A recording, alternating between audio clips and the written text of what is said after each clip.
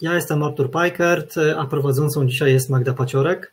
Cześć. Dziękujemy Wam za mega, mega liczne zapisanie się na ten e, webinar. E, o, widzę same znane osoby. Superowo, że jesteście z nami.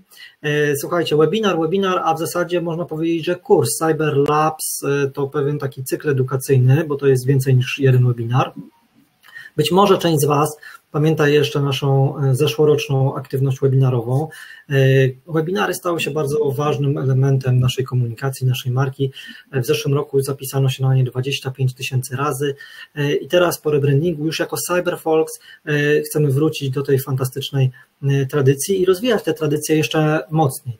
Cyber to kod, to wydajność, to technologia, a Folks to ludzie, to, to wsparcie, to dzielenie się wiedzą i inspiracjami.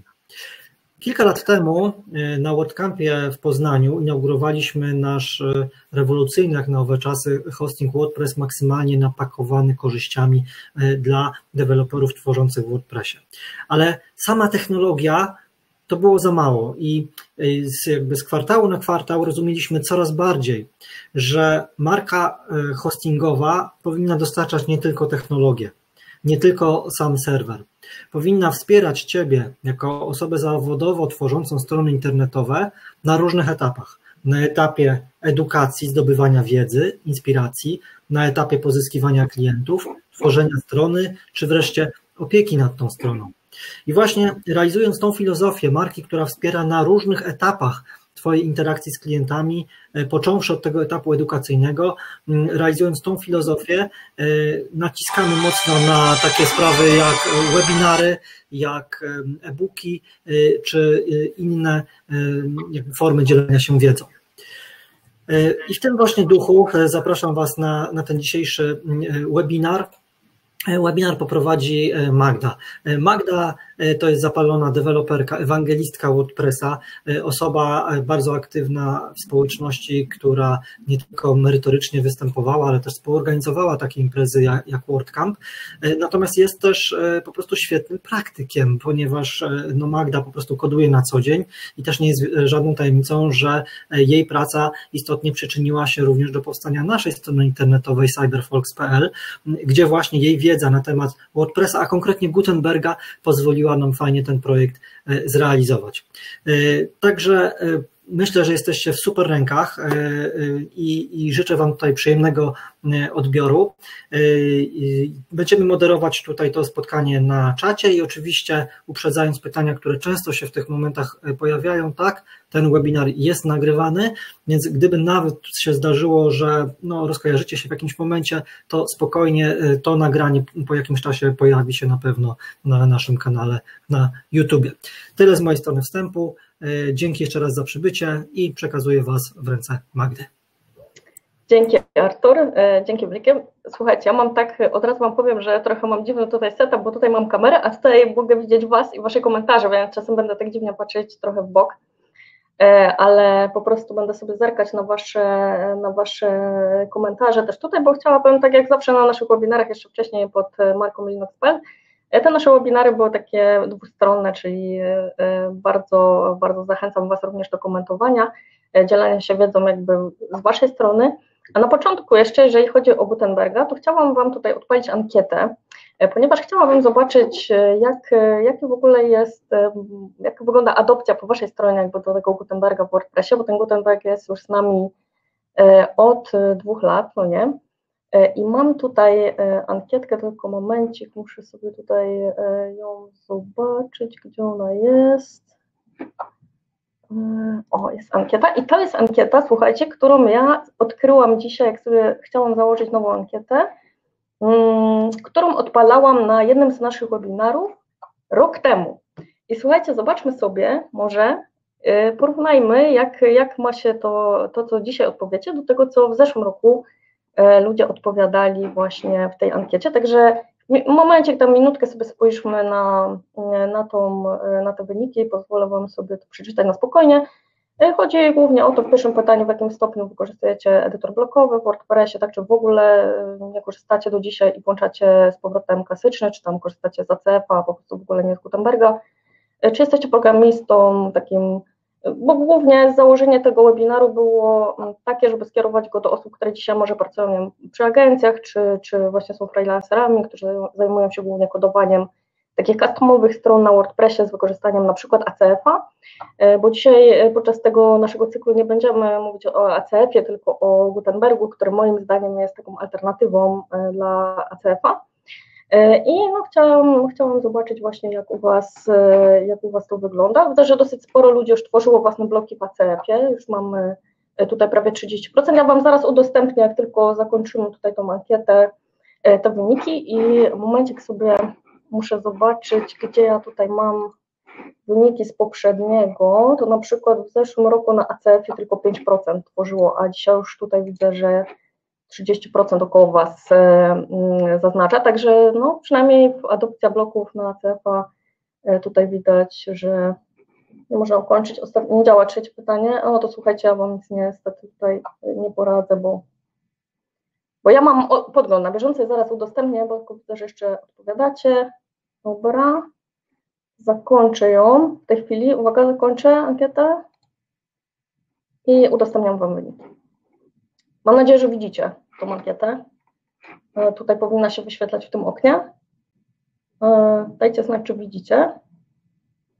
E, no to zobaczcie, że nadal dosyć sporo osób prawie 30% w ogóle nie korzysta, włącza edytor, wyłącza edytor blokowy, no to jest ciekawe dosyć, ale też już dużo, dużo z Was zaznaczyło tak mniej więcej w połowie mm, środkową wartość, 50% ludzi coś tam korzysta z edytora blokowego, no to nieźle.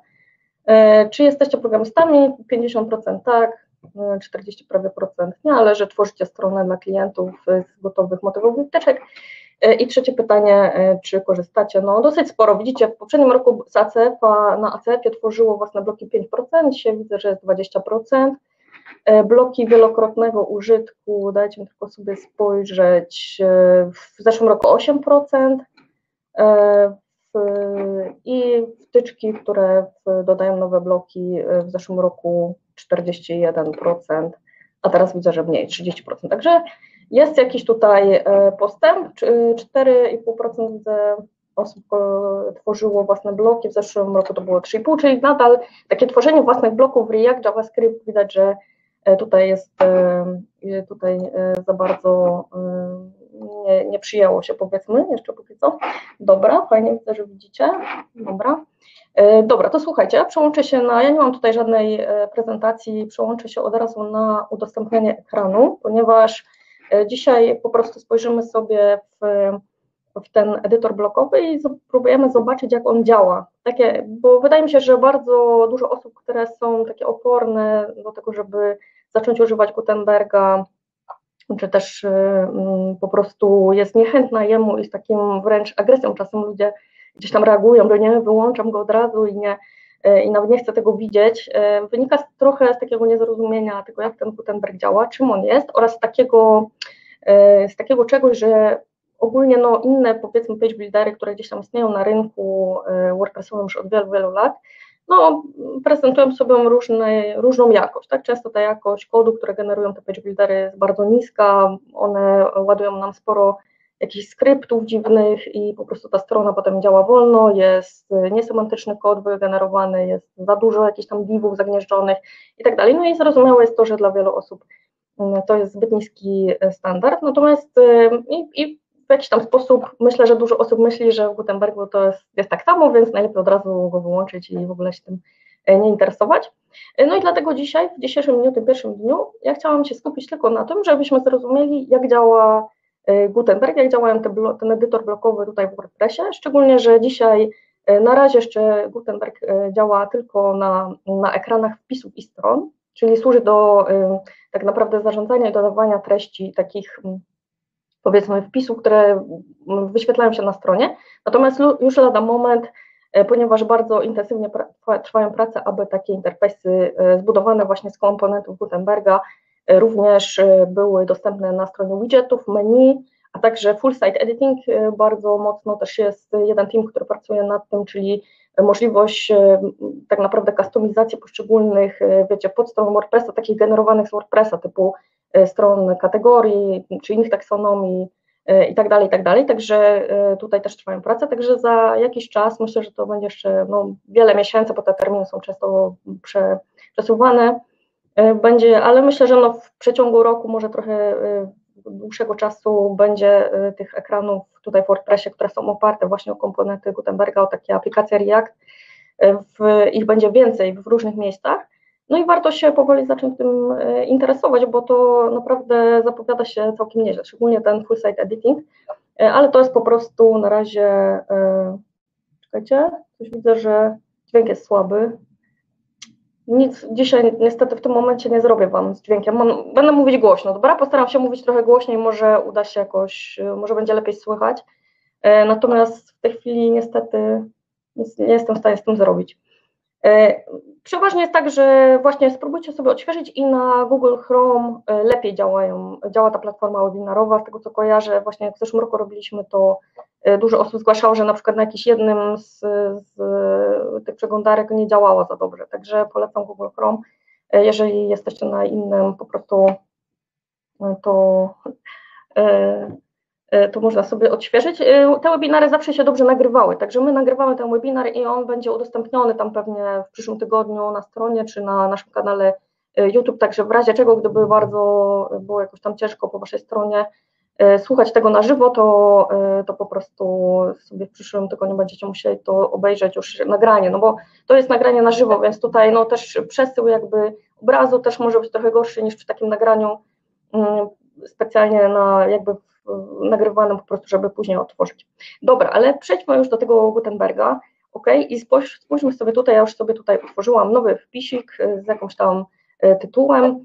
E, mam tutaj motyw Seedlet, to jest dosyć istotne, że ja mam tu jakiś tam motyw wybrany do tego WordPressa, dlatego że Gutenberg przede wszystkim czym on się charakteryzuje, to tym, że on sam w sobie nie za bardzo posiada jakieś wiele styli czy, czy czegoś takiego, i on bardzo dużo y, tak naprawdę dziedziczy po motywie. Dziedziczy praktycznie wszystkie style, on tylko ma same jakieś podstawowe e, style, typu jak są trzy kolumny, to żeby wyświetlało się w trzech kolumnach, ale już na przykład jakieś kolory i tak dalej, e, czy jakieś szerokości treści na stronie, to jest wszystko dziedziczone po motywie i jeżeli motyw jest źle przygotowany do, WordPress, do Gutenberga, nie jest dostosowany do Gutenberga, a większość motywów nie jest dostosowana dobrze do Gutenberga, niestety, pomimo, że twierdzą, że są, bo często jest taka sytuacja, że w repozytorium widzimy, a tak, zgodny z Gutenbergiem i tak dalej, e, ale to jest tak e, z grubsza tylko dostosowane i później pewne rzeczy nam nie działają za dobrze. I to jest pierwszy powód, dla którego myślę, że dużo osób też nie lubi Gutenberga, bo spróbowało raz, tam im nie działało, to coś zmieniali sobie w,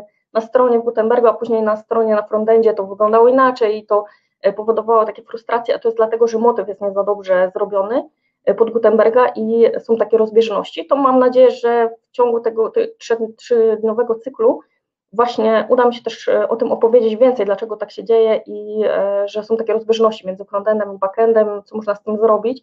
To wbrew pozorom nie jest takie proste i niektóre motywy, tak jak nawet ten, który tutaj wybrałam, to jest motyw Seedlet, e, jeden z nowszych motywów, który został stworzony przez firmę Automatic, która jest jakby firmą, która stoi za tym Gutenbergiem tak naprawdę, i na podstawie tego motywu jest tworzony kolejny domyślny motyw WordPressa, także no, wydawało się, że to jest taki motyw, e, który powinien już bardzo dobrze działać. On ma dużo zalet, jest fajnie zrobiony, jutro bardziej na niego spojrzymy, e, ale on tak dosyć dobrze działa, aczkolwiek może jeszcze się zdarzyć sytuacja i zdarzyło mi się tutaj klikając wcześniej, że były jakieś takie rozbieżności, więc nawet sobie myślę, nawet automatycznie umie dobrze zrobić motywu 200% takiego, który będzie działał z tym Gutenbergiem, także no niestety nie jest to łatwy temat.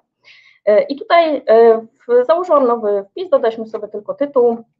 Takie to, że tutaj ten, ta szerokość tej treści jest taka wąska, to również narzuca nam ten motyw. To nie jest jakaś wina Gutenberga czy coś takiego, to w motywie tak jest utworzone, żeby e, on miał po prostu taką szerokość. I tutaj o co chodzi z tym naszym Gutenbergiem? Tak, gdzie w ogóle jest ten Gutenberg, co, co to jest ten Gutenberg, tu byśmy musieli sobie, myślę, w pierwszej kolejności odpowiedzieć na pytanie. Więc Gutenberg i ten edytor blokowy, powiedzmy ja będę tak zamiennie to nazywać, e, to jest aplikacja React, która tutaj działa w WP Adminie na backendzie w WordPressie i ona po prostu zastąpiła klasyczny edytor po to, żeby można było dodawać taki bardziej wizualny, blokowy sposób treść i stworzyć jakieś układy pod stron, e, które po prostu nie będą tylko takim lanym e, tekstem. I ta aplikacja tutaj jest wyrenderowana na tym backendzie na stronach właśnie, gdzie dodajemy nowe wpisy lub nowe strony, tutaj w, w to okno, ponieważ ta część cała tutaj z boku, czyli na przykład to menu w WordPressie, czy ten górna belka to jest dalej stary, dobry WordPress, a tutaj po prostu w tym miejscu, gdzie był wcześniej edytor klasyczny i te metaboxy, tutaj zostało to zastąpione właśnie tą aplikacją React. I ta aplikacja w Reactie to jest taka aplikacja JavaScriptowa właśnie napisana w Reactie, która, gdzie, w której możemy dodawać po prostu te bloki i zarządzać tą kontentem. I tutaj domyślnie, ja to specjalnie tak włączyłam, żebyśmy tutaj sobie widzieli ten, ten Gutenberg w kontekście tego, jak, jak mamy jeszcze ten boczny panel, ale ja tutaj włączę tryb pełnoekranowy, bo ten tryb jest obecnie domyślnym trybem w WordPressie i chodzi o to, żeby ten edytor, wszystko to, co jest w tym edytorze, do, praktycznie jeden do jeden odzwierciedlało to, co jest na frontendzie, czyli teraz mamy podgląd na naszej stronie, tak jak tutaj wygląda e, ta strona e, na, na frontendzie, a tutaj mamy tą naszą stronę na backendzie, czyli w naszym WP adminie i chodzi o to w Gutenbergu, żeby wyglądało to dokładnie tak samo i żeby tak naprawdę nie trzeba było podglądać to, co tam nam się wyświetli na frontendzie, bo założenie jest takie, że powinno być identyczne to, co jest tutaj widzimy. I na początku tylko, ponieważ my tu nie będziemy mówić o tym, ja nie, nie, nie, nie zrobiłam tego naszego laba pod to, żebyśmy się tu nauczyli dodawać bloki tak, do tego, bo jakby no raczej jest to e, dosyć proste i, i tylko tak z grubsza chciałam omówić ten interfejs po to, żebyśmy zobaczyli też, jak się nazywają niektóre elementy, e, które tutaj mamy w tym interfejsie. No to mamy tutaj ten plusik i ten plusik, on otwiera coś, co nazywa się inserter. Tutaj wstawiamy po prostu bloki e, tym, tym inserterem, możemy sobie tutaj wybrać jakiś tam blok, tak, i na przykład akapit i po prostu wpisujemy tutaj Y, tą treść. Y, y, w taki sposób możemy to dodać. Treść możemy też dodawać w taki sposób, że mam tu, zobaczcie, przygotowany jakiś tam treść po prostu w, no, w jakimś tam Google Docsach, sobie zaznaczam, przygotowałam wcześniej sobie taki artykuł, mogę zrobić kopiuję i tutaj w, sobie Enterem kliknę do, do nowego paragrafu, robię Ctrl-V i zobaczcie, dosyć fajnie działa wklejanie też tego treści z z jakiegoś tam e, właśnie typu Google Docs, czy nie wiem, jak jest Microsoft Docsem, ale z Google Docsów e, super e, tutaj się to wgrywa i każdy element tego, tej treści zostanie zamieniony tutaj w tym edytorze blokowym na jakby korespondujący blok, czyli paragraf został zamieniony na blok paragraf, nagłówek został zamieniony na blok nagłówek i tak dalej, zdjęcie zostało zamienione na zdjęcie, zdjęcie wprawdzie tutaj jest hotlinkowane, nie, trzeba je pobrać jeszcze osobno i wgrać do WordPressa, jeżeli byśmy chcieli, to jest jedyna taka rzecz właśnie z tymi zdjęciami, że one tak, nie są tak łatwo przenośne. Natomiast cała treść, tutaj nam się utworzyła lista, e, tak, tu, tu nam się ustawiła e, tabela, także cała ta treść nam się dosyć dobrze tutaj zamieniła, ale oczywiście kolejne bloki moglibyśmy dodawać również z poziomu właśnie tego insertera, na przykład tutaj klikając możemy wpisać sobie jakąś nazwę, jak już pamiętamy i dodamy na przykład kolumnę i do kolumny wstawimy specjalnie tutaj akurat wstawiam tą kolumnę, bo, bo za chwilę spojrzymy sobie e, na kod tego, co tutaj zostanie wygenerowane.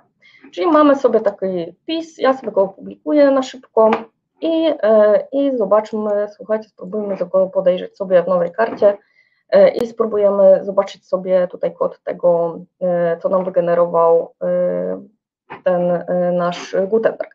No bo tutaj pierwszy zarzut, to, to robię to dlatego, że chciałam się rozprawić z takim zarzutem, że e, właśnie Gutenberg generuje nam tu jakiś straszny kod, który e, po prostu taki jak inne page buildery, że po prostu nie warto go stosować, bo tutaj będziemy mieć jakiś koszmarny kod wygenerowany i przecież lepiej jest samemu zakodować stronę i będziemy mieć lepszy ten markup HTML. No to podejdźmy. Tutaj zaczyna się nasz, to co ja dodałam w naszym Gutenbergu, tak, dodałam sobie parę paragrafów, jakiś nagłówek, no i co tutaj mam? No mamy po prostu zwykły, tak, HTML-owy P, tak, jako paragraf, potem mamy nagłówek H2, potem mamy znowu paragraf, później mamy to zdjęcie nasze, tu jest tylko figure i tu jest nasz image, no i widzicie, tutaj jest to odlinkowane właśnie o to chodzi, żeby tutaj jeszcze dograć sobie y, zdjęcie swoje, potem mamy znowu nagłówek, potem mamy tutaj listę, lista również semantycznie Y, ma odpowiedni HTML. Tutaj mamy też tabelę. tak, figure, table i mamy tą tabelę. No i tutaj mamy jeszcze tą kolumnę naszą, nasz blok z kolumnami, no to mamy tylko columns i kolumn i później już jest ten cały, cała treść, która jest dodana do pojedynczej kolumny. No także, no nie wiem, czy jak myślicie, czy bylibyście w stanie napisać lepszej jakości kod, jeżeli mielibyście taką treść, tak? No myślę, że nie. E, oczywiście na pewno ktoś z Was teraz powie, no dobrze, ale to nie jest, my tak w agencjach nie robimy takich stron, nie? które mają tylko paragrafy i, i nagłówki, tylko robimy bardziej skomplikowane layouty. No i właśnie jutro zrobimy sobie taki bardziej skomplikowany layout, e, który, e, który e, będzie właśnie bardziej taki agencyjny, a dokładnie otworzymy jedną z podstron naszych na CyberFolks, e, która zresztą była zakodowana, E, więc, a ja odtworzyłam to e, poprzez wzorce, bo wzorce to jest jakby drugi taki element poza blokami. Ja odtworzyłam sobie jedną z takich podstron z natywnych bloków, które tutaj mamy wbudowane do WordPressa, no bo jak zobaczymy sobie tak naprawdę te elementy, to są takie podstawowe elementy, z których zbudowana strona internetowa, to są podstawowe elementy HTML-a, tak, nagłówki, paragrafy, jakieś listy, obrazy, tabele, no to jest zupełnie coś totalnie podstawowego, co na każdej stronie się znajdzie e, i w zasadzie można z tego tworzyć sobie e, każdą, każdy układ strony, szczególnie, że mamy tutaj jeszcze kolumny, e, układy kolumnowe i, i tak dalej, ale temu się przyjrzymy jutro. Dzisiaj tylko spojrzeliśmy, że ten HTML tutaj generowany jest ok, nic, nic z nim nie jest nie tak. Następnie, czyli mamy tutaj ten inserter co jeżeli klikniemy sobie na pojedynczy blok, no to ten blok składa się z kilku elementów. On ma oczywiście tą część taką z treścią, tam gdzie dodajemy sobie treść, tak tutaj możemy sobie dodawać treść i e, idea jest taka, żeby to wyglądało tak, jakbyśmy dodawali na frontendzie tą treść. Tak jakbyśmy byli teraz na frontendzie tej strony i po prostu doda, dopisali tutaj e, kawałek treści, a nie jak powiedzmy w poprzednim, w starszej wersji WordPressa, w klasycznym edytorze, czy nawet w ACF-ach, gdzie mamy po prostu inputy, gdzie wpisujemy jakieś tam treści, one są osobno y, i później one jakoś tam się wyświetlą na frontendzie, tak jak programista to zakoduje. Natomiast tutaj jest idea taka, żeby osoba, która edytuje, miała wrażenie, jakby edytowała już bezpośrednio na stronie. No tyle, że tutaj w tym interfejsie Gutenberga mamy jeszcze ten blok toolbar, to się nazywa toolbar właśnie takiego bloku, gdzie można dodawać właśnie jakieś dodatkowe kontrolki. Tutaj y, te natywne bloki mają jakieś tam swoje kontrolki, tak, i lista ma jakieś tam swoje mm, kontrolki, które może zmieniać, y, czy zdjęcia mają też jakieś tam, czy, czy tabela ma też jakieś tam inne kontrolki. Y, dodatkowo każdy jeszcze blok ma taki sidebar. Tutaj jeżeli klikniemy sobie na te ustawienia, w takim tabie blog mamy sidebar, w którym mamy możliwość dodawania też, jeżeli my robimy własny blog, to możemy tutaj też dodać dodatkowe kontrolki, na przykład one kontrolują jakąś tam typografię, e, tak, czy akurat w tym przypadku tego e, bloku z e, natywnego bloku z paragrafem, natomiast w własnym bloku my też możemy dodawać, jeżeli będziemy, a my trzeciego dnia spróbujemy stworzyć własny blok, aczkolwiek kontrolek już chyba nie zdążymy dodać, bo to, to też jest dosyć grubszy temat, w sumie jak na jeden webinar to jest też gruby temat, jeżeli chodzi o tworzenie własnych bloków, e, ale tam e, też do własnego bloku możemy dodać właśnie zarówno kontrolki tutaj do tego sidebara, jak i tu do toolbara możemy tworzyć własne też jakieś rozwijane listy i tak dalej, to już zależy od tego, co potrzebujemy, żeby użytkownik mógł zmienić. I teraz E, jak zaktualizuję sobie tu, zmieniłam, zobaczcie e, sobie jakieś tam rzeczy, wyklikałam po prostu w tym Gutenbergu. E, gdy odświeżymy tą stronę, no zobaczymy, co się stanie. Nic się nie dzieje. Dobra. I się zepsuło. Albo to gdzieś niżej pewnie. No właśnie. I teraz zobaczcie. E, weźmy sobie jeszcze, podejrzymy kod. Warto podejrzeć kod, bo po prostu warto zobaczyć, co się dzieje, jak na przykład użytkownik tutaj zaznaczy, że ma być jakiś kolor i ma być jakiś większy font. Co, te, co jakby jak to się przekłada na frontend, co się pojawia na frontendzie. Jak sobie tutaj spojrzymy, e, to w tym elemencie P on tylko dodaje klasę, tak? bo w tym motywie jest zdefiniowana, że mm, jest klasa, są zdefiniowane te kolory, takie domyślne tutaj które sobie wybieramy do danego motywu i one mają jakieś tam nazwy, primary, secondary i tak dalej. I tutaj y, dodawana jest klasa has secondary background color i tak dalej. I tu od razu y, nam po prostu dodaje, dodaje jakieś tam kolory, tak, one wszystkie tutaj właśnie w tym motywie, to jutro na to spojrzymy, ten cały motyw jest zrobiony na globalnych CSS, na zmiennych globalnych CSS, które co całkiem fajnie e, działa. Nie widziałam jeszcze wcześniej motywu tak zrobionego. Na pewno w żadnej agencji nie widziałam takiego motywu. w taki sposób, który by się tak posługiwał tymi zmiennymi i tylko w jednym miejscu wystarczy zmienić jakieś wartości i on się zmienia na całej stronie. Także to jest bardzo fajne. No i też zobaczcie, has large font size. Tak dodało nam po prostu klasy. Nawet nie tworzy tutaj jakichś inline'owych styli, aczkolwiek jeżeli byśmy wzięli sobie kolor, jakiś tam inny, który nie jest zdefiniowany wcześniej, na przykład taki, no nie, powiedzmy, E, no to wtedy doda nam ten styl jako inline style, bo, e, bo po prostu, już tutaj wyjść z tego preview, e, bo, no, bo nie będzie on predefiniowany, tak, tylko tutaj już użytkownik wy, wybrał, więc jest wtedy styl inline. To z tego, co zauważyłam, tak w aplikacjach Reacta właśnie często dodaje się style inline, E, ale no, tego Reacta powiedzmy na tyle tylko znam, żeby poznać trochę bardziej Gutenberga, żeby mi się to przydało po prostu przy Gutenbergu, także nie mam takiego doświadczenia w tworzeniu takiej aplikacji React, więc nie wiem jak to później przy takich większych aplikacjach produkcyjnych, może wy macie, bo tam część osób widziałam pisało, że tworzyło coś w Reactie, może macie większe doświadczenie z Reactem, możecie napisać w komentarzu, e, co E, co, e, jak to wygląda właśnie w takich, jeżeli robimy sobie jakąś aplikację w Reakcie typowo, nie tylko tutaj w Gutenberg. No więc tak to działa na frontendzie, że tutaj po prostu dodane są jakieś klasy, no nie jest to nic moim zdaniem mm, strasznego i właśnie to przede wszystkim chciałam tutaj pokazać na jakby, że nic się tutaj nie dzieje, nie generuje tu jakiegoś strasznego kodu. Jeszcze druga rzecz, która jest ważna, to jest to, że to, co wspomniałam, i myślę, że to często wiąże się z tym takie niezrozumienie e, tego, czym jest Gutenberg i gdzie on działa. Bo Gutenberg, jako ta aplikacja React, ona działa tylko na backendzie, czyli w WP adminie naszym. Ona nie działa na frontendzie. Na frontendzie tutaj na stronie nie jest w ogóle ładowany żaden React, żaden jakiś, jakiś framework, który by tego Gutenberga nam tutaj cokolwiek z tym robić. Tak naprawdę tutaj ten treść, która się wyświetla, ona to działa praktycznie tak samo, jak działało w Classic Editorze. To znaczy ta treść tutaj z Gutenberga jest zapisywana do bazy, tak? Wejdziemy sobie do bazy, zobaczymy sobie na szybko. Zobaczymy sobie tylko, jak to się zapisuje. O, mamy tutaj e, naszego, e, nasz wpis.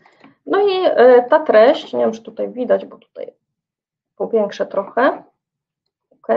Jak wejdziemy sobie do bazy, to zobaczymy, że to, te bloki z Gutenberga, one po prostu są zamieniane na kod HTML i zapisane do bazy jako taki wynikowy kod HTML, czyli dokładnie to samo, co wyświetla się tutaj na frontendzie.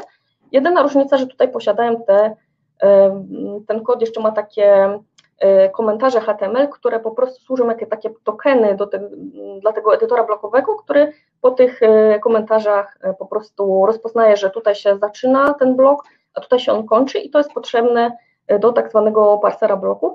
Natomiast tutaj na frontendzie po prostu ten, ta treść Gutenberga jest tak naprawdę to, to jest treść pochodząca z bazy danych, której tylko w procesie tam jest taki blok parser w PHP, który nam usuwa te komentarze, no bo tutaj nie widzimy tych komentarzy, y, no nie jak patrzyliśmy sobie na ten kod, to nie było tutaj tych komentarzy takich y, w HTML-u, które określają jaki to jest blok, to tam po prostu przy, to wyciągamy funkcję decontent i ona do niej jest podpięte, po prostu są takie funkcje, które wycinają nam to, tak mogę powiedzieć z grubsza, że ona wycina e, po prostu te, e, te komentarze i zostaje sam ten goły HTML, który, e, którym tutaj został wygenerowany z tego, z tego Gutenberga. No i to jest w zasadzie tyle, co to robi na frontendzie. Jakby, no bo Gutenberg nie działa na frontendzie, czyli to nie jest zbytnio ciekawe, co tam się dzieje na frontendzie w związku z tym Gutenbergiem.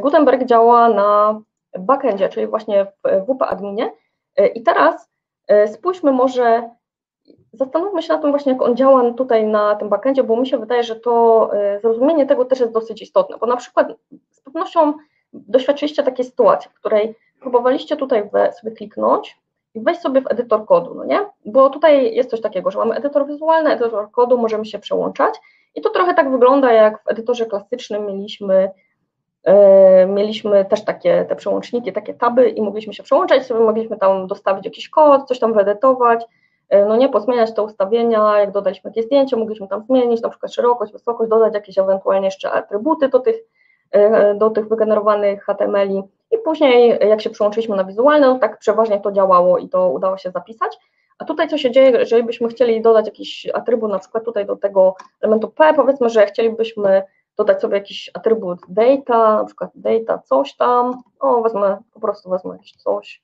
tak, bo potrzebujemy to powiedzmy do jakiegoś skryptu, potem JavaScript na, na frontendzie, żeby tutaj nam e, namierzyło właśnie ten konkretny element. Dobra, tak to zrobię. No i tutaj e, może próbowaliście dodawać, tak? Tutaj jakoś edytować kod, dajcie znać w komentarzach, czy próbowaliście tutaj e, dodawać i Wam się stało to, co mi się zaraz stanie. No i potem się przełączamy tutaj, no i tu wszystko niby jest ok, nie? Zaktualizujemy, jest tutaj spoko, tutaj też odświeżymy to w tym pierwszym E, paragrafie, jak sobie spojrzymy kod, to, to mamy, tak, e, to i jest ok, a potem tutaj wyjdziemy sobie z tego i wejdziemy jeszcze raz e, do Gutenberga, no i mamy tutaj właśnie problem z walidacją tego bloku, że coś się stało i, i po prostu już tego bloku nie ma, rozwaliło, no, nie? Więc, więc myślę, że nie jednej osoby się coś takiego przytrafiło i teraz nie wiadomo skąd to się dzieje, a to jest dosyć istotne i to pomaga zrozumieć właśnie, co tu się stało. Więc spójrzmy e, na konsolę. Jeżeli w ogóle się stanie jakaś taki, jakiś błąd na, e, tutaj w Gutenbergu, to warto sobie spojrzeć na konsolę, bo ta konsola, przez to, że to jest aplikacja JavaScript, ona nam tu wyrzuci e, te błędy wszystkie, które się pojawią i często właśnie React też dosyć dobrze obsługuje błędy i daje informacje dokładnie z linkiem na stronie w dokumentacji Reacta, na przykład co, co ten błąd oznacza. E, także e, to jest bardzo przydatne, dosyć fajnie tutaj to działa. Też jak tworzymy własne bloki, to łatwo można zdebagować, co, się, co poszło nie tak. No i tutaj widzimy, że jest problem z, z, z walidacją bloku. Ta walidacja bloku się nie udała dla core paragraph, bo mamy jakiś tam content, który jest wygenerowany z save function i jakiś content, który został, no, powstał z, z tego wpisu, jakby, czyli z tego, co zostało zapisane do bazy. No bo tutaj to jest dosyć istotne, żeby zrozumieć, jak działa ten edytor blokowy jako aplikacja React właśnie w, w tym kokpicie.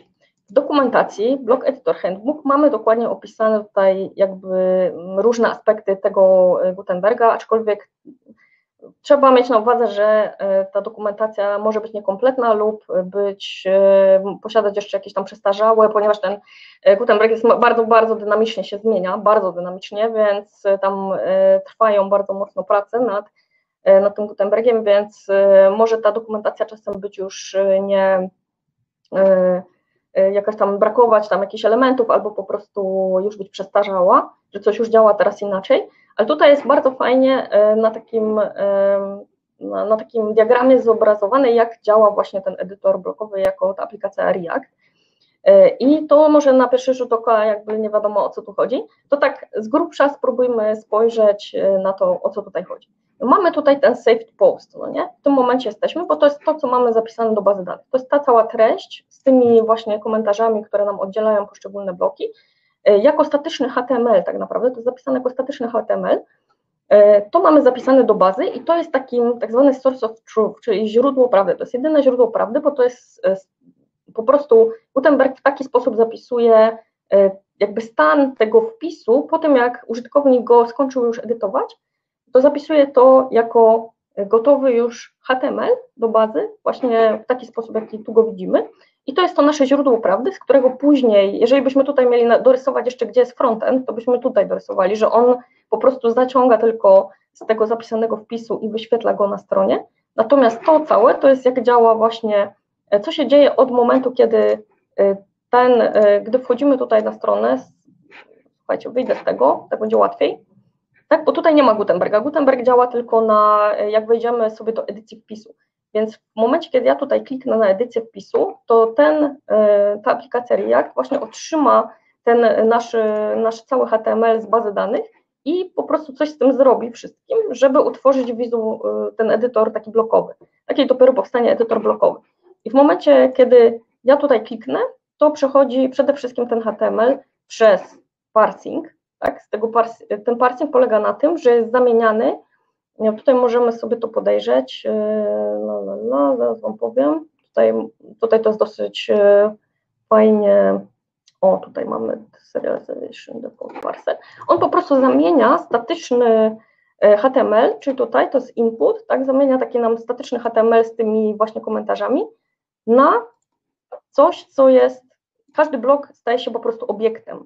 Obiektem i, i ta aplikacja tak naprawdę działa na tych obiektach, a nie na, nie na HTML-u. Tutaj w ogóle to, to się wydaje, bo to jest takie bardzo mylące, że nam się wydaje, że tutaj jest HTML i dlatego, że jak tutaj wejdziemy teraz, do edytora kodu sobie coś zmienimy, to tutaj nam się też zmieni w tym HTML-u. Tylko problem jest tego typu, że tutaj to nie jest HTML, to jest tak naprawdę aplikacja React i ona, ten HTML tutaj, on powstaje tylko, to jest efekt końcowy, a tak naprawdę ona działa na blokach. Tutaj mamy bloki, które są po prostu tablicą obiektów, tak? I ta aplikacja, jak my sobie klikamy na przykład, wejdziemy sobie do tego drugiego tutaj e, bloku, który ma jakieś tam atrybuty, tak na przykład jego content jest e, jednym z atrybutów, na przykład tutaj mamy jakiś drop cap, tak, który mogliśmy zmienić. O tutaj, to jak jeszcze raz sobie odświeżę tą listę, to co my zrobiliśmy, my nie edytowaliśmy tutaj e, e, HTML-a, pomimo, że tutaj widzimy podgląd, ale my nie edytowaliśmy HTML-a. Co my zrobiliśmy, to edytowaliśmy atrybuty tego bloku i na przykład tutaj zmieniliśmy mu, że ten drop cap atrybut e, zmienił się na true i po prostu cała ta interakcja, która tutaj zachodzi, tak, to ten blok jest przeparsowany właśnie z tego HTML-a na właśnie taką listę obiektów tych bloków i później jak my wchodzimy w, w edycję tych bloków, to jest tylko E, update'owany i jest zmieniane są te obiekty, a nie HTML. Ten HTML jest później dopiero zamieniany, jakby tworzony na podstawie właśnie e, tej listy tych obiektów, do tego, żeby był zapisany do bazy danych jako, jako HTML. I to jest, się nazywa serializacja. I on cały czas przechodzi taki proces właśnie parsowania i serializacji. E, natomiast jeżeli tutaj próbujemy coś, jak tutaj spróbowaliśmy coś wyedytować, no to teraz ten blok, on nie wie jak odtworzyć nie wie, co z, tego, co z tym zrobić, po prostu dlatego, że on dostał jakiś HTML, który zawiera jakiś element, czyli ten e, atrybut data, coś tam, e, który nie jest, został zdefiniowany, ponieważ e, to, jaki, jaki blok ma atrybuty, jest zdefiniowane w kodzie źródłowym danego bloku. Na przykład tutaj mamy repozytorium WordPress Gutenberg, tak jeżeli szukacie, gdzie jest kod źródłowy Gutenberga, to on jest na GitHubie, cały jest dostępny, można wejść i sobie podejrzeć. I tutaj mamy packages i mamy pakiet block e, library, gdzie są zdefiniowane wszystkie bloki natywne, które mamy w WordPressie. No i tutaj na przykład mamy paragraf, tak, to jest kod źródłowy tego bloku paragraf. I on ma jakieś atrybuty ustalone z góry, jakiś na przykład content, tak, i tutaj w tych atrybutach jest określone, że to jest typu, ta treść będzie typu string, że jej źródłem jest HTML, ten HTML właśnie E, stąd, e, który tutaj zobaczymy na tym podglądzie, bo ten edytor kodu to tak naprawdę jest podgląd, to nie jest edytor. E, I to, to mnie strasznie dziwi, czemu no, oni to nazwali edytor, bo to jest bez sensu tutaj edytować, dlatego że te bloki się wysypują, bo nie przechodzą właśnie później tego etapu serializacji i parsowania, bo nie mają na podstawie czego jakby tego przejść.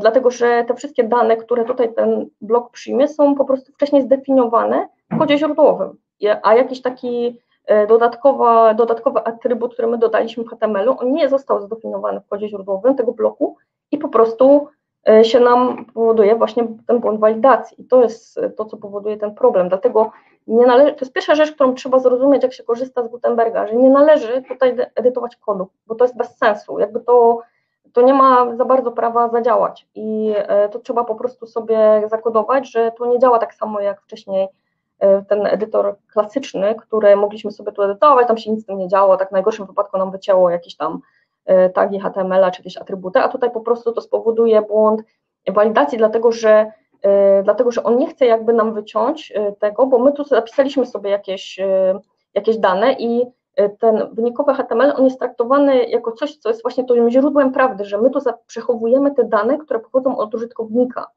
I on sobie coś tutaj z, zrobił na tej, na tej podstronie, zapisał to do bazy i to, co jest zapisane, to jest trwało jakby zapis tego, co użytkownik tutaj e, działał. I teraz jak ten edytor nie umie rozpoznać, co to jest, bo nie ma tego nigdzie zdefiniowanego jakby w kodzie źródłowym, no to on nie chce tego usunąć, bo on nam tego nie usunie. Zobaczcie, że jak tutaj zaktualizuje, to możemy tak mieć i zostawić sobie tak, jak tutaj to jest i to nam nie zniknie tutaj z kodu na frontendzie.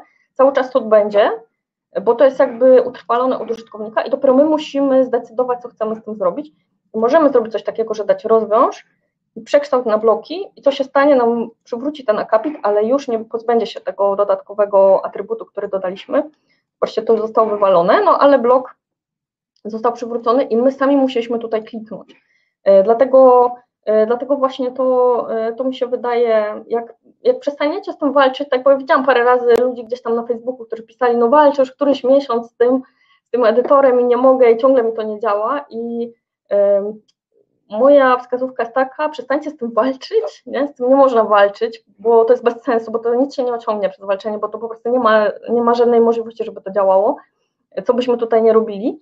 E, jeżeli byśmy chcieli dodać sobie, bo, bo my możemy sobie dodać taki, jakbyśmy potrzebowali taki, dodać atrybut data, coś, albo jakiś inny atrybut, cokolwiek, czy jakieś style, które tutaj nie są zdefiniowane, to my możemy to zrobić, bo w WordPressie mamy coś takiego w Gutenbergu, e, co nazywa się block filters i to filter reference, tak, i mam block filters. E, i tutaj możemy e, po prostu przepuścić taki blok, na przykład paragraf, czy jakikolwiek inny blok, który jest natywnie dodany w WordPressie lub który jakaś wtyczka dodaje, e, tylko że to są filtry wszystko javascriptowe, tak, i one po prostu, my musimy wiedzieć, jak się tworzy blok, z jakich komponentów się składa blok i tak dalej, żeby móc go modyfikować, no bo tak to nie, nie damy rady sobie z tym, to jest generalnie dosyć skomplikowane, ale możemy w taki sposób e, wtedy dodać, poprzez dodanie atrybutu do, te, do danego bloku, e, no po prostu dopiszemy jakby dodatkowy atrybut tutaj i przez to ten, ten parser i serializer będzie wiedział, co zrobić z takim dodatkowym kodem. Nawet nie musimy mieć na to kontrolki, bo na przykład zobaczcie, jak dodam sobie przycisk, przycisk właśnie ma coś takiego, są tu przyciski, tu mam jakiś tu mam jakiś kliknij, tak, tu sobie mogę e, go podlinkować gdzieś tam, mam chyba jakiś witaj świecie, e, no i mamy sobie taki bloczek e, kliknij. I jak sobie podejrzymy, tu jest, ja to traktuję jako podgląd kodu, tak, to sobie podglądamy jaki jest kod, który zostanie zapisany do bazy danych, no to tutaj mamy ten nasz przycisk, który ma klasę jakąś, ma jakiś tam odnośnik, tak, zapisany, plus jeżeli byśmy zmienili z powrotem na, to już myślę, że mogę zamknąć, wizualny, e, to on ma jeszcze tutaj jakieś dodatkowe elementy, na przykład możemy sobie e, zaokrąglenia jakieś zrobić, otwierać w nowej karcie, coś tam, tak możemy sobie dopisać i tu są takie dodatkowe kontrolki, jakiś kolor możemy zmieniać, ale możemy dopisać też title move, tutaj w kodzie. Akurat do batona możemy dopisać, jakbyśmy chcieli, przycisk. Ja mu dopiszę i to będzie działało i zaraz spojrzymy dlaczego edytor wizualny, no mamy, tutaj jest wszystko ok, tu podejrzymy sobie ten przycisk, e, to zobaczcie, że ten, ten title jest tutaj, który dodałam w kodzie, no i jak odświeżę, to nie powinno to spowodować żadnych problemów z walidacją, jest ok, nie? nawet jak sobie spojrzymy do konsoli, to nie ma tutaj żadnych problemów z walidacją.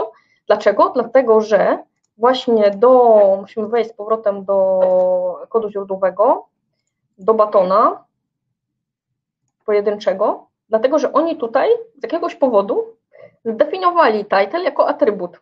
I on, i ten title jest tak zdefiniowany, że wejść do, co jest źródłem? Jest źródłem atrybut w selektorze A i ten atrybut nazywa się title.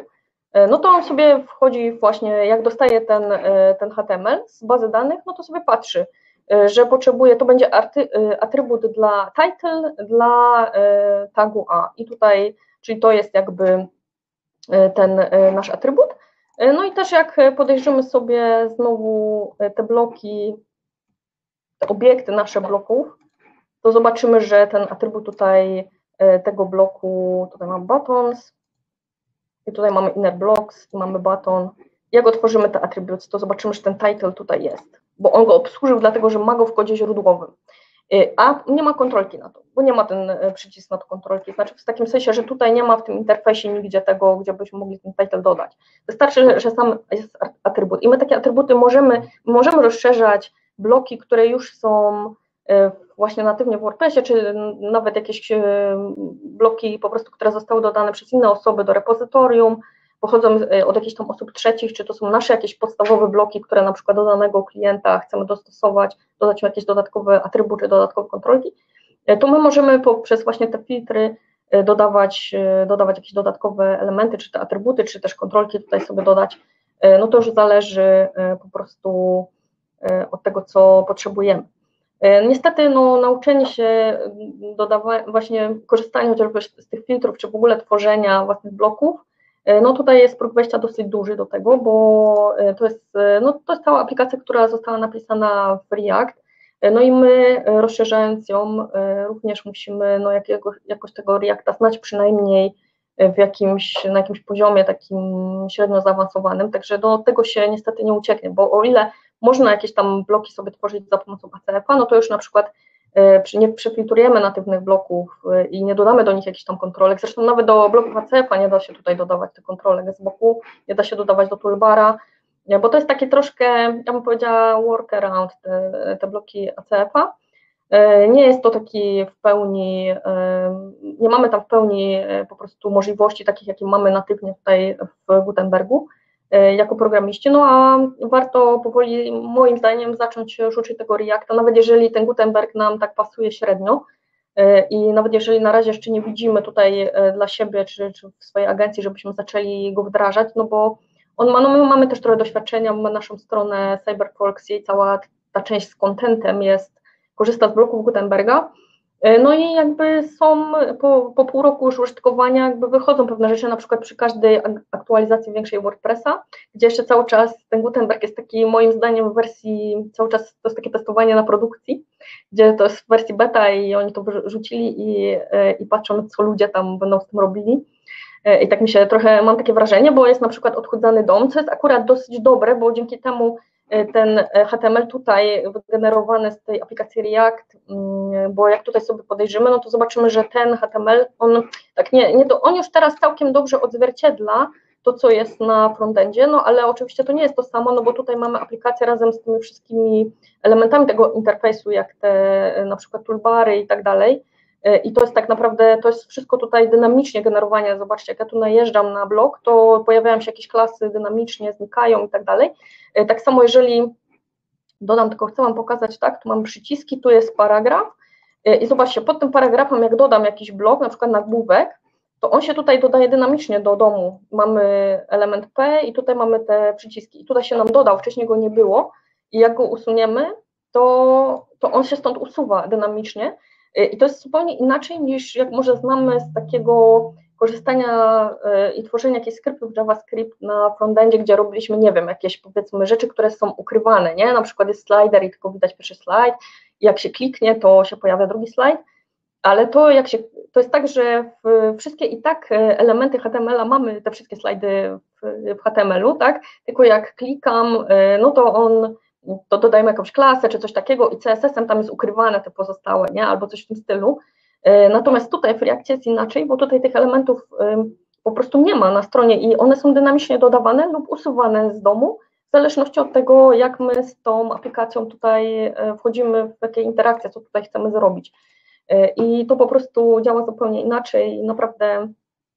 No i właśnie wcześniej ten dom był taki bardziej skomplikowany, że niby dodawaliśmy tutaj paragraf, ale tak naprawdę to jeszcze były strzydliwy, jakieś tak nieżone i tak dalej, przez to było bardzo trudno utrzymać style na frontendzie i na backendzie, żeby były takie same, żeby tylko w jednym miejscu ostylować, żeby one na, y, i na frontendzie i na backendzie mogły, mogły korzystać jakby z tego samego stylu, żebyśmy nie musieli dwa razy stylować osobno, y, no to dlatego ten dom zaczął być odchudzany od paru miesięcy i w każdej ostatnich dwóch wydaniach były odchudzone, przez to na przykład style całe, które my mieliśmy na naszej stronie, po takiej aktualizacji się wysypały no bo już była inna struktura do i trzeba było po prostu przerobić selektory i tak dalej, więc no ja ogólnie uważam, że przy wdrożeniach agencyjnych, bo znam trochę, pracowałam trochę z agencjami, to wiem jak to tam wygląda, no to może jeszcze nie jest jeszcze czas na to, żeby tak iść w 100% Gutenberga i, e, i tam e, już za, zarzucić w ogóle jakieś takie e, ACF-a czy jakieś tam inne sposoby na tworzenie, dlatego że po prostu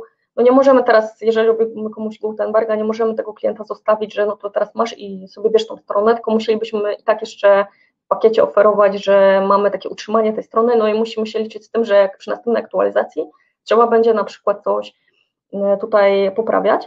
E, dlatego też e, od jutro będziemy, jutro chciałam zrobić webinar o wzorcach, o patterns. Patterns to jest coś takiego, taki zestaw, tworzenie już takich całych zestawów, takich sekcji, gotowych bloków, y, które y, po prostu możemy dodawać jako już całe sekcje, a nie pojedyncze bloki osobno. Tutaj mamy jakieś tam przykładowe, y, dlatego że moim zdaniem właśnie nie jest drogą dobrą pójście w Gutenberga tak, taką, żeby tworzyć na siłę własne bloki, jak najwięcej własnych bloków, tylko żeby korzystać z tych bloków natywnych i budować w nich wzorce, które, które są po prostu zbiorem jakichś gotowych bloków, no bo jak widzimy tutaj te bloki, no paragraf, nagłówek, no to generują nam podstawowe tak naprawdę tagi HTML-a, więc jakby i tak my byśmy sami nie byli w stanie napisać nic innego, jeżeli chodzi o kod, tak, więc jakby no nie ma sensu tego pisać, bo wtedy jak tworzymy własne bloki, to my musimy je cały czas utrzymywać z każdą aktualizacją i tak dalej. Jest aktualizacja WordPressa, to trzeba wziąć taki oddech i mówić, o kurde, dobra, to teraz e, ciekawe, co trzeba będzie tutaj poprawiać. E, natomiast, e, natomiast jak te natywne bloki po prostu działają, bo oni te aktualizacje robią, no to wszystko jest dostosowywane też, żeby, żeby to działało. Także no to są takie moje przemyślenia. Ale teraz spojrzę, uwaga, obracam się tam, bo tam mam z boku komentarze wasze i chcę sobie zobaczyć, czy coś nie pojawiało. Może macie, chcielibyście coś, zawsze można nie aktualizować. No to jest akurat słaba, słaba porada, przykro mi bardzo, Pani Gutenberg, bo WordPressa właśnie trzeba aktualizować i no po prostu nie ma innej tutaj możliwości, jeżeli chcesz utrzymywać tą stronę, chcesz, żeby ona przez lata Ci działała, no to e, nie ma szans tutaj, żeby nie aktualizować, czy żeby wbywać jakiegoś WordPressa 4.9, jakiegoś przestarzałego sprzed dwóch lat i co nie aktualizować do nowszych wersji, to też jakoś e, wydaje mi się bardzo, e, bardzo Słuchajcie, przeglądam tylko jeszcze. Jak macie jakieś nowsze komentarze, to najlepiej byście napisali na dole, a ja o, tutaj pyta Dominik. Co myślę na temat tworzenia strony WordPressa za pomocą edytorów graficznych takich jak Divi czy Elementor? E, opinie deweloperów są mocno podzielone. E, o co chodzi z tymi, e, z tymi Divi, Elementor i innymi page builderami? O to chodzi, że one generują nam kod na frontendzie, który jest no, przeważnie słabej jakości albo ma bardzo, bardzo dużo jakichś tam divów pozagnieżdżanych niepotrzebnie tak naprawdę, bo jak widać tutaj na przykładzie Gutenberga, nie wiem, układy kolumnowe można zrobić naprawdę niewielką liczbą tych zagnieżdżonych livów, a jak sobie spojrzysz, a polecam Ci, jak, jak się zajmujecie w ogóle robieniem tych stron, a część z Was zaznaczyło, że tak, to polecam Wam właśnie zrobić sobie taki eksperyment i przyjrzeć się temu, jak działa taki właśnie Elementor, czy Divi, czy inny page builder, z którego korzystacie. Otwórzcie sobie konsolę deweloperską, tak, stwórzcie sobie jakiś layout strony, na przykład podobny do tego, co jutro zrobimy na tych, z tych wzorców Gutenberga, Wy sobie stwórzcie u siebie w waszym Elementorze, czy Divi, czy w jakimś innym page builderze i zobaczcie sobie właśnie poprzez, no po prostu otwarcie konsoli deweloperskiej, otwieramy ją tutaj czy prawym przyciskiem zbadaj, tak, czy F12, otwieramy sobie, mamy podgląd całego HTML-a e, i po prostu zobaczcie sobie, jak wygląda HTML wygenerowany przez właśnie jeden z tych page builderów. E, i porównajcie, jak to się ma do tego, co mamy tutaj w Gutenbergu. No tutaj mamy taką prościutką stronę, więc może z tym tak nie do końca się da porównać, ale do, tym, do tego, co jutro zobaczymy, bo tam będzie bardziej skomplikowane, tam będą bardziej takie układy agencyjne, powiedzmy, więc tam sobie zobaczymy też ten HTML i wy sobie zobaczcie u siebie i już na dzień dobry zobaczysz, że no jest tam, tam jest więcej HTML-a po prostu niż jest tej treści i to już jest takie słabe. Po drugie, page też przeważnie to są i te wszystkie rozwiązania tak zwane all-in-one, czyli wszystko dla wszystkich tak naprawdę, one po prostu mają mnóstwo kodu i mnóstwo jakiegoś nadmiarowego, niepotrzebnego JavaScriptu, jakiś HTML i CSS-a, bo one mają po prostu style, 50 różnych styli dla jakiegoś jednego elementu, a my tylko z tego elementu będziemy korzystali raz z jakimś jednym stylem. I, a cały tamten, ta reszta tego stylu i tych wszystkich y, skryptów nam się załaduje tak czy siak, więc to jest trochę problematyczne i tutaj E, powoduje to po prostu, no może to powodować problemy, poza tym jakbyśmy chcieli coś do, dostosować bardziej, nie wiem, klient ma jakieś bardziej specyficzne wymagania, no to jak my kodujemy, no to znamy ten kod, wiemy e, co w nim zmienić, a e, i w jakim miejscu. Natomiast no, nie oszukujmy się, kodowanie strony od zera to jest, są koszty wielokrotnie przewyższające koszty wdrożenia strony na jakimś tam gotowym page builderze, E, I w wielu sytuacjach, moim zdaniem, e, dla małych firm, które i tak nie inwestują pieniędzy w jakieś SEO czy w jakiś marketing specjalny, potrzebują mieć jakąś stronę, prostą wizytówkę, ja osobiście nie widzę problemu z tym, że ktoś sobie tam wyklika taką stronę. E, dzisiaj bardziej bym się skłaniała ku temu, żeby ją wyklikiwać Gutenberg, bo on po prostu nie tylko zyskujemy interfejs graficzny, w którym możemy sobie wyklikać bez w ogóle tykania kodu i jutro zobaczymy sobie, możemy sobie fajną stronę wyklikać, Yy, szczególnie, że ja mam jakby porównanie, bo wiem, ile nam, nam zajęło jakby stworzenie strony, tak? Yy, zrobiliśmy ją z agencją, po naszej stronie też było jeszcze parę osób.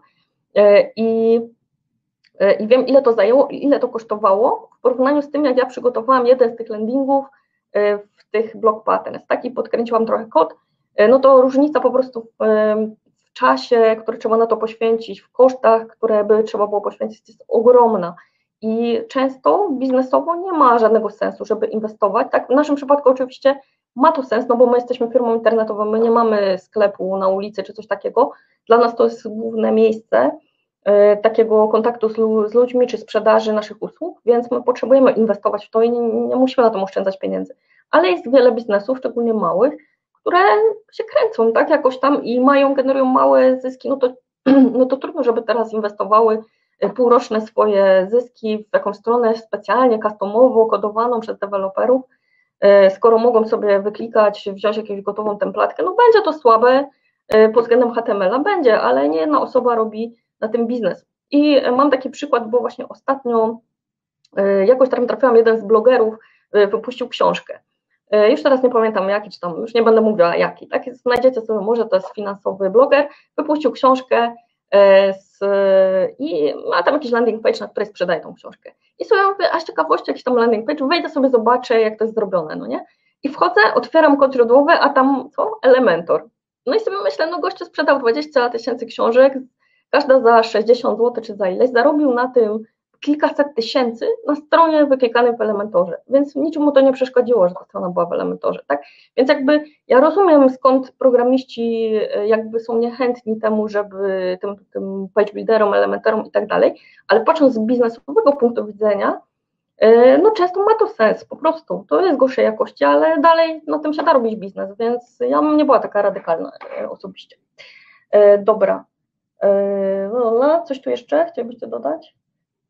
Może pewnie wielu z Was się z tym nie zgadza, ale to jest ok, nie musimy się ze wszystkim zgadzać. E, moim zdaniem zawsze należy po prostu wybierać rozwiązanie odpowiednie dla danych potrzeb biznesowych, a nie mieć tylko jedno rozwiązanie, bo nie ma czegoś takiego, że jest jedno tylko dobre rozwiązanie i wszystkim należy to wciskać. Tylko są różne sytuacje, wszystko zależy od kontekstu. I w niektórych kontekstach będzie lepsze takie rozwiązanie, w innym będzie takie rozwiązanie. Tak jak mówię, Gutenberg, ja jestem ogromną fanką Gutenberga i po prostu najchętniej bym chciała, żeby wszyscy robili na Gutenbergu, ale zdaję sobie sprawę, znamy realia, jakie są w agencjach i wiem, że może na razie jeszcze przez najbliższy rok, najbliższe półtora roku może warto sobie robić na ACF bloki, a po prostu po godzinach uczyć się Reacta, żeby w pewnym momencie móc już przejść jak coraz więcej, bo coraz więcej tego backendu tutaj w, w, adminie, bo już teraz miało w najbliższej aktualizacji, która będzie w w grudniu miały być widgety, e, ten ekran widgetów już jest prawie gotowy na edytorze blokowym e, i ekran menu też jest już prawie gotowy, tylko jeszcze coś tam do końca nie grało, że nie nadawało się na produkcję, ale jak sobie ściągniecie wtyczkę Gutenberg, bo Gutenberg jest tak rozwijany, ten edytor blokowy, że najpierw jest we wtyczce Gutenberg, e, dopisywane są kolejne funkcjonalności i później w i później te rzeczy, które się nadają na produkcję, są w jakiejś tam kolejnej e, edycji aktualizacji WordPressa po prostu dołączane do WordPressa, do Cora WordPressa. Więc w Gutenbergu on wyprzedza jakby o ileś tam miesięcy ten, to, co jest w WordPressie, także tam można sobie włączyć takie opcje eksperymentalne i zobaczyć, nad czym ekipa Gutenberga dzisiaj pracuje, a ekipa Gutenberga, uwierzcie mi, pracuje, tam jest przynajmniej kilka teamów, które pracują bardzo intensywnie, nad rozwojem kolejnych mm, ekranów tutaj w kokpicie WordPressa. E, i za jakiś czas może być taka sytuacja, że nie będzie się dało na przykład zmodyfikować czegoś menu czy te, i tak dalej, nie znając jakby tego edytora blokowego, rozumianego jako aplikacja React, która składa się z jakichś tam komponentów.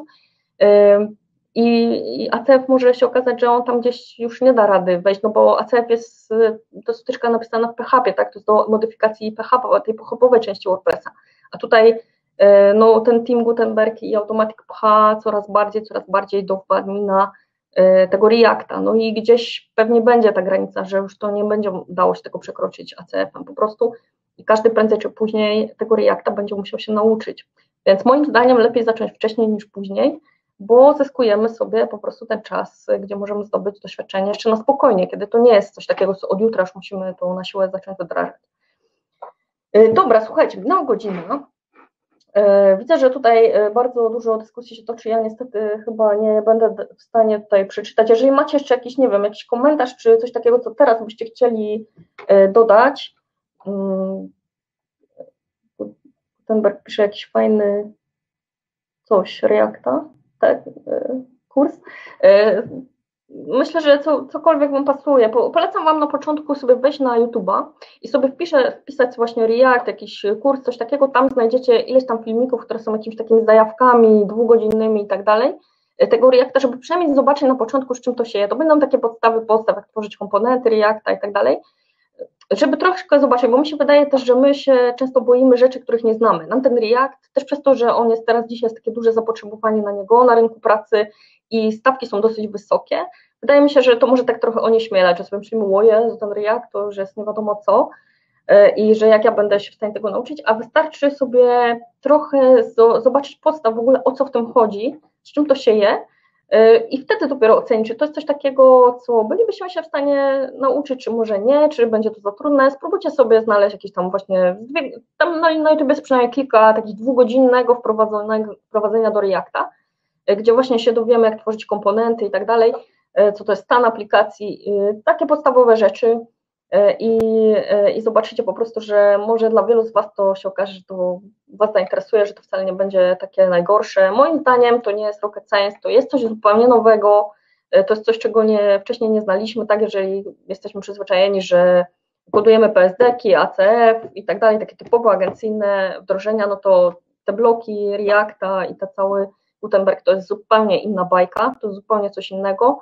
E, I tutaj no, trzeba się na to nastawić, że po prostu to jest nowa aplikacja, której się musimy nauczyć od zera.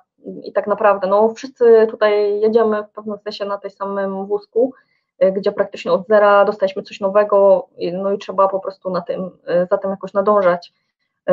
No moim zdaniem, jeżeli ktoś chce pozostać jeszcze długie lata w, tym, w tej branży w WordPressie, no to będzie musiał się tego nauczyć prędzej czy później, no bo to, to nie ma szans po prostu na dłuższą metę to moim zdaniem ACF nie da rady na dłuższą metę zastąpić i jakoś tak się wpasować, żeby dało się wszystko edytować, co byśmy chcieli, nie ucząc się tego całego Reacta.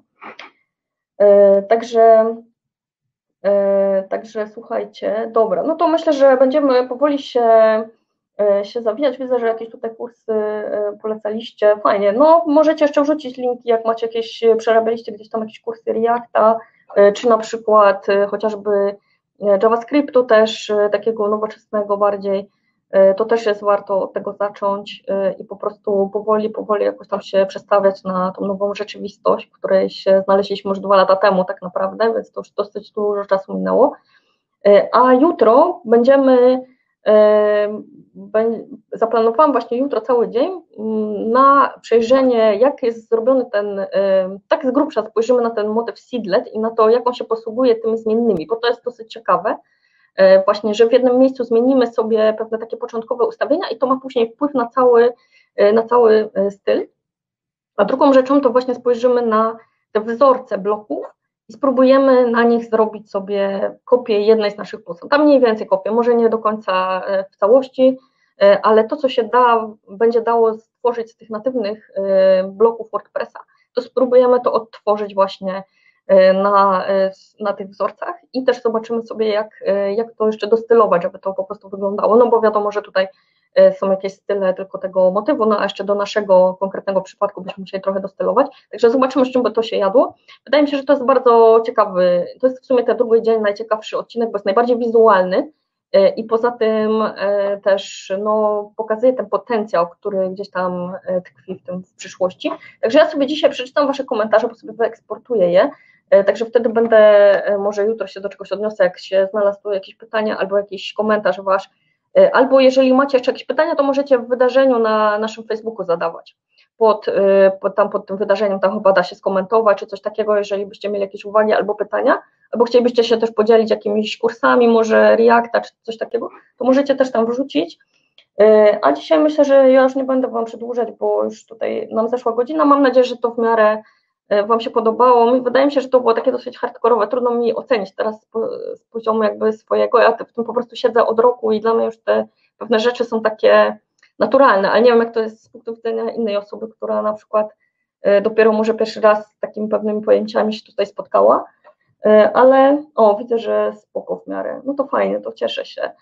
To dzięki, słuchajcie, za dziś.